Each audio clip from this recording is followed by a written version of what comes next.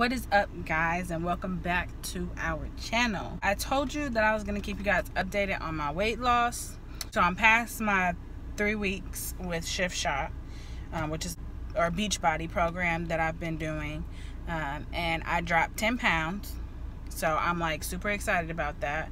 And then i had a pt test because i'm in the military. Past that so no problem. And then I kind of fell off the wagon for like a week or two. I still meal prep. I didn't meal prep last week. Being on nights is really, really hard to meal prep, but I I just have to keep myself in the habit.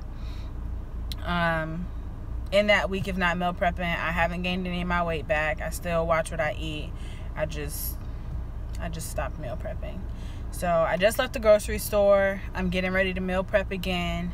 Um, one of the most influential people in my military career. She made some jerk chicken yesterday, and so I asked her how she made it. I'm about to try to copy the recipe. Not really copy, but you know, I'm gonna try to make it like she made it, and it's not gonna turn out the way it did for her, but I'm hoping I can get close or, you know, at least really enjoy what I make. Um, so I'm gonna do jerk chicken for myself, collard greens um, because greens are good for you. I'm not making them fatty, so you know, I'm not putting all that extra seasoning and fat back and all that stuff in it. I know, I know, it's like a disgrace, but I feel like I should still be able to eat food that I really enjoy without like sacrificing a lot. And if I can't eat collard greens, they still taste good and they're healthier, then hey, I got to do what I got to do. Sarah wants um, shredded pork and rice. So I'm going to do that for her. I have some of those um, protein snack packs for a snack. It's got like ham and turkey and uh, Colby, Colby Jack cheese in it. So, yeah, I'm still excited about this weight loss journey. Just kicking myself in the gear. Um, instead of shift shop this time, I'm going to do core de force.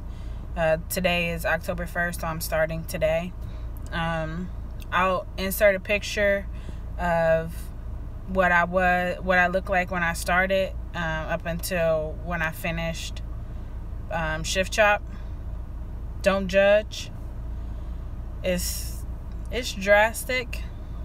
Um, I don't think I've ever been so big in my life, but if I can help somebody else, then you know, what do I have to be ashamed of?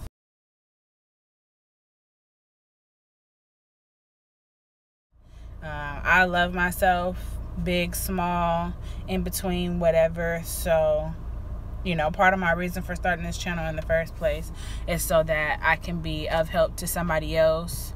Um, of course, I'm going to have fun. We're going to have fun. No, I just feel like, you know, maybe there's something that I've gone through or that I'm going through that might be able to help inspire somebody else or you know just keep somebody's spirits lifted. You just you never know what people are going through. And you know why not why not use YouTube as a platform you know? That's about as much of an update as I have. Um, this shirt is really big now. Um, it wasn't this loose when I first bought it. It was like like skin tight so, you know, I'm not, I try not to um, look at my victories based on the scale because I'm one of those people who loses weight slowly. Um, but once I start dropping, it just continues. Um, so I try to judge it more so by how I feel, how I look. My face has slimmed out a little bit. Um, you know, I don't have this neck anymore. So, you know. I'm just gonna keep on keeping on. Um, and that's about it.